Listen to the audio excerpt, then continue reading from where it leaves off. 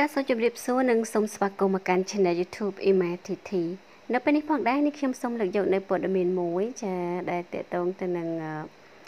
ចាតារាដែលរូបថតរបស់លោកនៅបញ្ញរិទ្ធប្រមាណសន្លឹកនេះគឺធ្វើឲ្យគ្រប់គ្នាស្ទើរតែច្រឡំថាជីវីចានៅក្នុងក្រុម BTS ចាលោកអ្នកជ្រាបហើយថាក្រុម BTS ចាដែលកំពុងតែល្បីខ្លាំងចានៅកូរ៉េក៏ដូចជាមាន fan នៅក្នុងស្រុកយើងគ្រប់គ្រងច្រើនផងដែរចា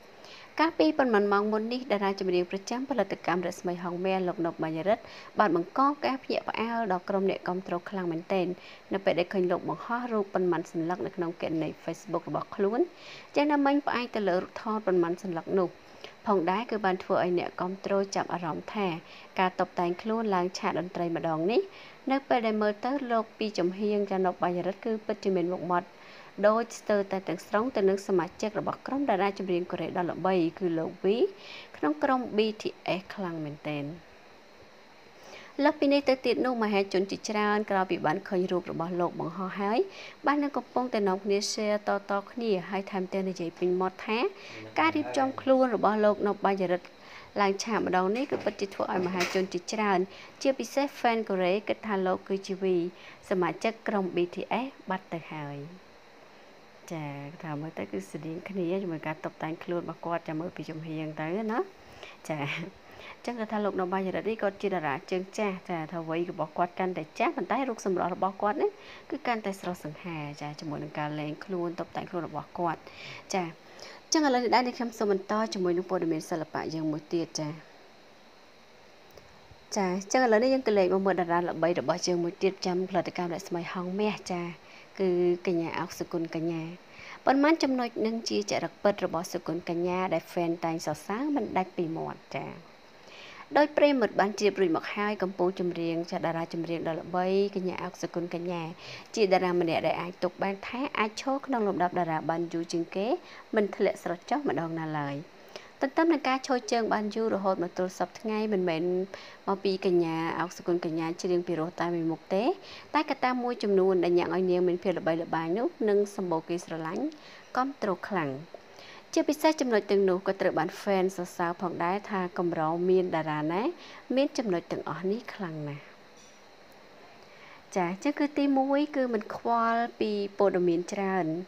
ជាស្ដែងក្នុងចំណោមតារាល្បីមិនខ្វះរឿងដែលបណ្ដាព័ត៌មានចុះផ្សាយនោះទេ តែជួនកាលអាចជារឿងល្អនិងជួនកាលទៀតអាចជារឿងអាក្រក់ទាំងសម័យខ្លួនមិនបានដឹងខ្លួនក៏ថាបានដោយសារតែបែបនេះទើបធ្វើឲ្យតារាមួយចំនួនមានការខឹងសម្បារហូតចេញមុខប្រតិកម្មជាដើមប៉ុន្តែសម្រាប់សុគន្ធកញ្ញាមិនថាបណ្ដាព័ត៌មានចុះផ្សាយបែបណាក៏នាងមិនដែលខ្វល់នឹងបកស្រាយអ្វីនោះដែរ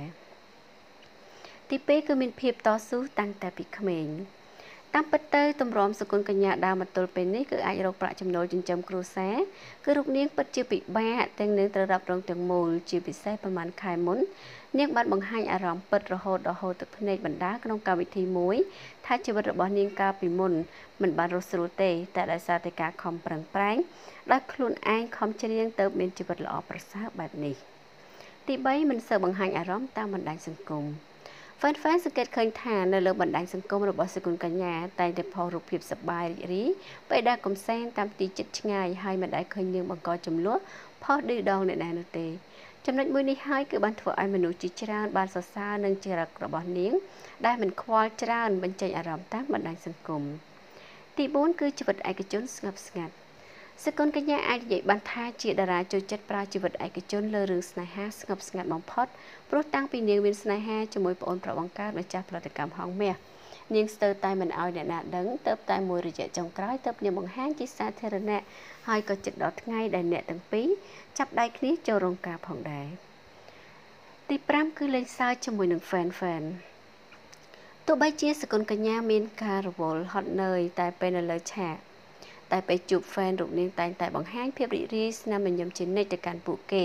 ជាពិសេសរាល់ពេលឡើងកម្មវិធីជំនួប fan ម្ដងម្ដងនាងមិនដែលធ្វើឲ្យ fan ខកចិត្តម្ដងណាឡើយដែលនាងតែងតែបង្ហាញភាពកក់ក្ដៅនិងលេងសើចដូចជាបងប្អូនយ៉ាងដូចនោះដែរ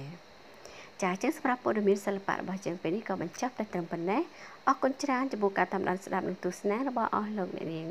ជួបគ្នាជាមួយនឹងវីដេអូក្រោយៗទៀតចា៎